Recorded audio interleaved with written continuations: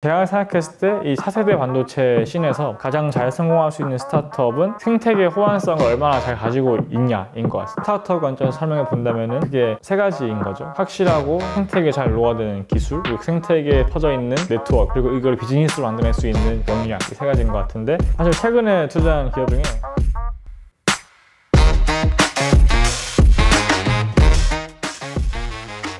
안녕하세요. 보이는 팟캐스트의 MC를 맡은 카카오벤처스 박소진입니다. 차세대 반도체에 대해 인사이트를 들려줄 카카오벤처스 김영무 심사역님을 모셔보도록 하겠습니다. 안녕하세요. 안녕하세요. 카카오벤처스에서 deep tech 영역 투자하고 있는 김영무 심사역입니다. 반갑습니다. 지금까지 formal하게 이제 음성 팟캐스트 내보냈다면 오늘 조금 더 캐주얼하게 이야기를 하면서 많은 궁금증이 있으면 그것도 얘기해보고 저희가 왜 이런 거 투자하고 있는지 또 이야기해보는 자리 한번 가져보면 좋을 것 같아요. 근데 반도체는 뭔지 알겠는데 오늘의 토픽은 차세대 반도체잖아요. 앞에 차세대가 붙으니까 조금 이해가 잘 안 되거든요. 한번 설명을 해주실 수 있을까요? 차세대 반도체라는 거는 이제 사람들마다 뭐 정의하는 게 다르겠지만 제가 생각하는 차세대 반도체는 기존에 행해 오던 반도체 발전 방식을 뛰어넘고 새로운 발전 방식으로 넘어가 반도체를 차세대 반도체라고 생각하는 것 같아요. 그래서 예로 들어서 실리콘 기반의 반도체가 아니라 다른 소재를 활용한 반도체라든지 범용 칩만 만들던 반도체가 아니라 AI 스페셜된 뭐 NPU 같은 칩이라든지 아니면은 2D 집적도를 높이는 형태로 발전되어 오던 반도체에서 3D 집적도를 높이는 반도체로 넘어간다든지 이런 식으로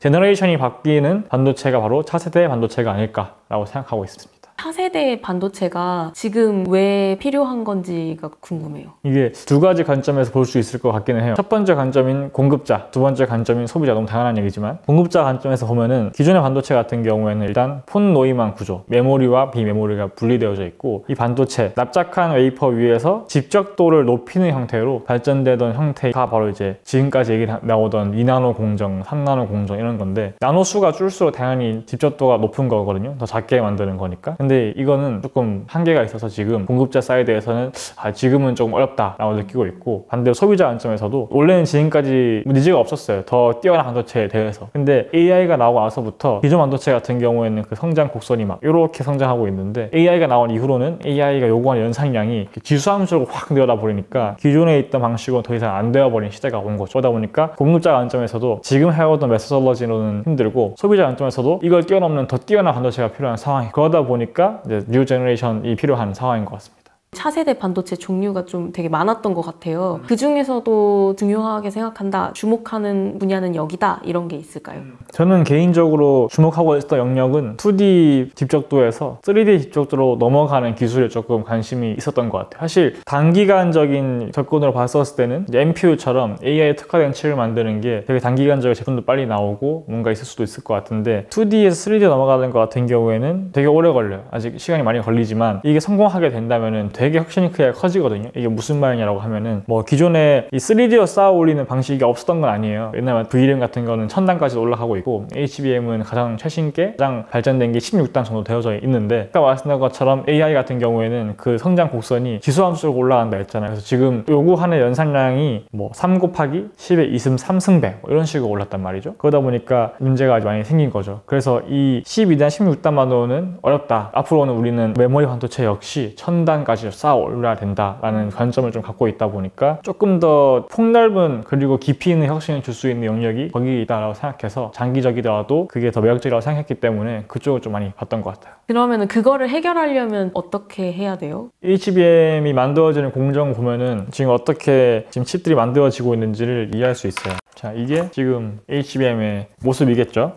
이런 식으로 D램을 위로 쌓아 올리는 형태로 HBM 을 만들고 있어요. D램 다 만든 거 갖고 와서 두고 여기다가 뭐 왜냐면 두 개를 분리해 놔야 되니까. 벽을 두고 또 디램을 올리고 두고. 이거를 16단까지 올린 근데 이 방식 같은 경우에는 후공정이라는 공정을 써 이게 무슨 말이라고 하면은 반도체를 만드는 공정을 보면은 이제 쫙 연결되어져 깔클이. 근데 가장 마지막에 다 만들어진 반도체를 이제 포장하는 패키징하는 과정이 있는데 그걸 후공정이라고 불러. 가장 마지막에 하는 거니까. 그러다 보니까 HBM 같은 경우에는 위로 쌓아 올리는 건 좋기는 한데 처음부터 위로 쌓아 올리는 걸 설계를 한 형태로 만들어진 칩들이 애초에 아, 니에요 소재도 마찬가지기도 하고 그러다 보니까 어떤 느낌이냐면은 저희는 건물 지을 때 100층짜리 건물 지을 때 애초에 기반 공사부터 엄청 튼튼하게 하고 되게 튼튼한 소재 갖고 와서 되게 높게 아주 잘 설계해서 쌓아 올리는데 HBM 같은 경우에는 그게 아니라 1층짜리 목조 저택을 100개 이제 지은 다음에 그거를 그냥 위에다 이렇게 쌓아 올리는 형태로 지금까지 집을 지었던 거죠. 당- 당연히 그렇게 집을 지으면은 되게 불안정하고 쉽게 무너지니까 높게 못 쌓아 올리겠죠. 지금 HBM이 이제 그런 상황인 거예요. 그래서 이러한 공정을 해결해 줄 수 있는 새로운 형태의 공정이나 이걸 해결해 줄 수 있는 소재가 필요하다라고 볼 수 있겠습니다.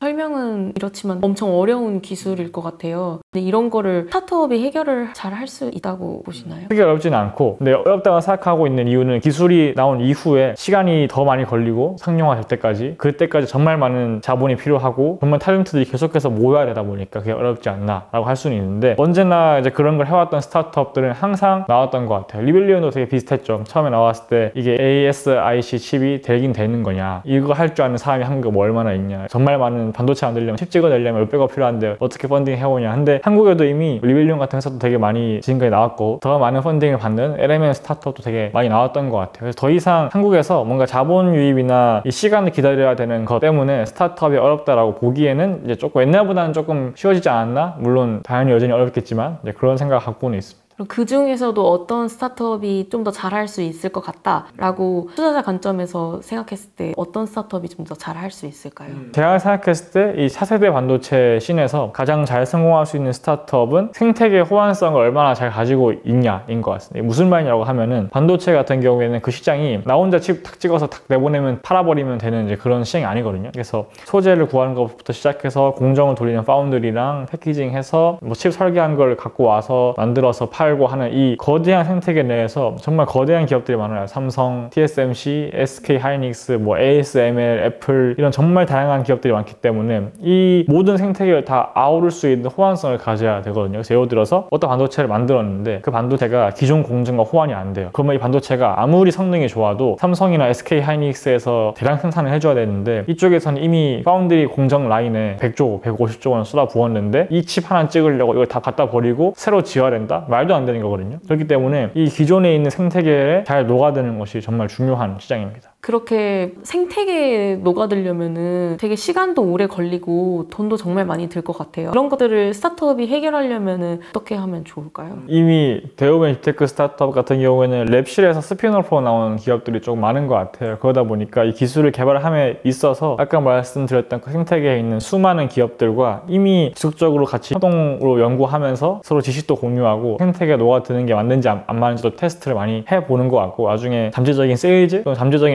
SI로서 넣을 수 있는 것들을 다 가지고 있는 상태인 것 같고 그런 상황에서 나와서 창업을 한다면은 이 네트워크를 100%잘 활용을 한다면은 이제 그러한 생태계 잘 녹아드는 것에 대한 장벽을 훨씬 쉽게 해소하면서 나아갈 수 있는 거죠.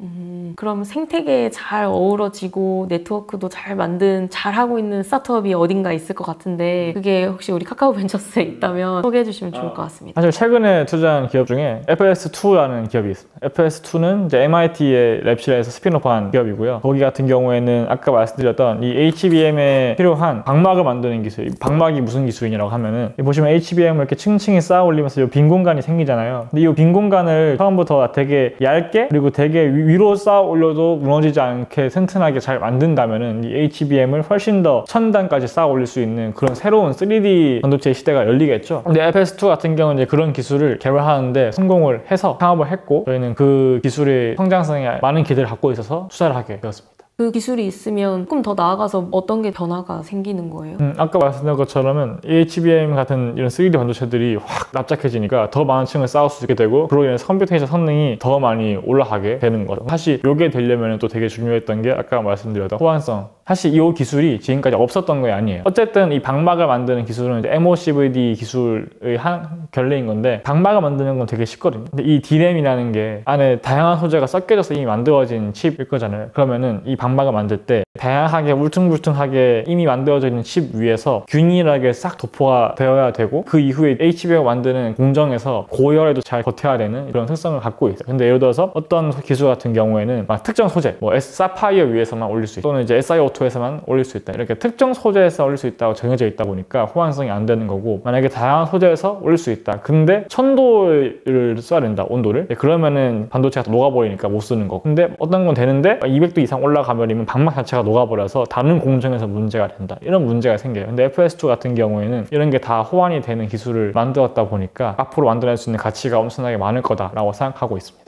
지금까지 되게 많은 이야기들을 해주셨는데 한번 요약을 해주시면 좋을 것 같아가지고 어떤 스타트업이 시장에서 잘할 수 있을까 그 관점에서 FS2가 그럼 왜더 잘할 수 있는 거야?를 한번 더 설명해 주시면 좋을 것 같아요. 스타트업 관점에서 설명해 본다면 은 그게 세 가지인 거죠. 확실하고 생태계에 잘 조화되는 기술, 그리고 생태계에 퍼져 있는 네트워크, 그리고 이걸 비즈니스로 만들어낼 수 있는 역량 이 세 가지인 것 같은데 FS2 같은 경우 아까 말씀드린 것처럼 기술 같은 경우는 이미 Nature나 Nature Materials의 그 내용을 올려서 기술성을 이미 입증했고 IP 도 확보한 상황이에요. 그래서 기술력에 대해서는 저는 이미 한번 검증되었다라고 생각하고 있고 네트워크 역시 마찬가지로 이 기술을 만들면서 이미 기존에 있는 글로벌 파운드리들 장비들과 많은 네트워크를 가져가면서 협동한 연구 결과이기도 하고 파트너십으로도 일할 수도 있고 SI로 들어올 수도 있는 이제 그런 플레이어들이고 앞으로도 이제 다 함께 그룹을 만들어서 성장하고 있을 거라 기대하고 있을 것 같고요. 비즈니스 같은 것도 마찬가지로 사실 교수님들이 연구만 할 거니까 비즈니스 잘 모를 것 같다라고 생각할 수 있는데 의외로 small exit을 많이 하신 교수님도 많이 계시고 IP를 어떤 식으로 방어해야 될까에 대한 관점도 의외로 경험이 많은 분들도 계셔서 FS2 같은 경우에도 이제 그런 분들이 advisory로 들어와 계시기도 해요. 그리고 그런 분들을 함께 연구하면서 했던 교수님이 창업한 기업이기 때문에 스타트업 관점에서도 잘 성장할 수 있을 거라 저는 보고 있습니다. 마지막으로 이 차세대 반도체 시장에서 또 어떤 스타트업들을 좀 발굴하고 싶으세요? 사실 이번 시리즈에서 키워드를 세 개를 정해서 발표를 어떻게 하는 거죠. 저희가 앞으로 많이 보려고 하고 있고 지금도 관심 갖고 있는 되게 큰 기술 키워드 세 개가 될 것 같은데 차세대 반도체 같은 경우에도 전 앞으로 계속해서 꾸준히 되게 좋은 기업들이 많이 나올 것 같아요. 말씀드렸던 새로운 소재를 만드는 기업 중에서도 뭐 예를 들어서 유리 기판처럼 꼭 전체의 칩이 아니라도 그 칩에 들어가는 아주 작은 부분에도 새로운 신소재를 써서 도입해 보는 그런 기술을 갖고 있는 회사나 아니면은 리벨리온 같은 회사 같은 경우가 이제 설계를 혁신한 그런 기업이 앞으로 될 수 있을 것 같고 공정 장비 또는 AI를 활용한 반도체 시뮬레이터, 반도체 설계 이런 것도 저희는 꾸준히 보고 있어가지고 차세대 반도체라는 키워드 내에서는 저희는 정말 폭넓게 다 보고 있습니다. 뭐 저전력 같은 것도 혁신이 될 수 있을 것 같아요. 앞으로 그런 혁신을 만들어 나갈 스타트업들이 많이 생겨나길 저는 응원하고 싶습니다. 감사합니다. 저희 나중에 언젠가 합류하게 되실 또 새로운 패밀리사 분들도 저희와 함께 해주시면 감사드릴 것 같습니다. 그럼 첫 번째 토픽인 차세대 반도체는 여기에서 마무리하는 걸로 하고요. 마지막으로 한 말씀 해주시죠. 지금까지 들어주셔서 감사하고요. 다음에는 또 4세대 반도체만큼 세상에 큰 혁신을 갖고 올 키워드로 찾아뵙도록 하겠습니다. 감사합니다. 감사합니다.